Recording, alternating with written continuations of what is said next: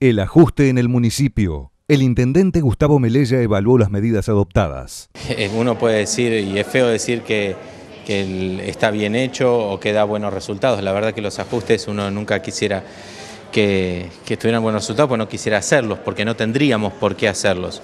Pero realmente, digo, dentro de la responsabilidad que nos toca hoy de realizar ajustes, en el funcionamiento, en los objetivos que teníamos en los planes, eh, es lo que esperábamos. Los resultados en ese sentido son positivos.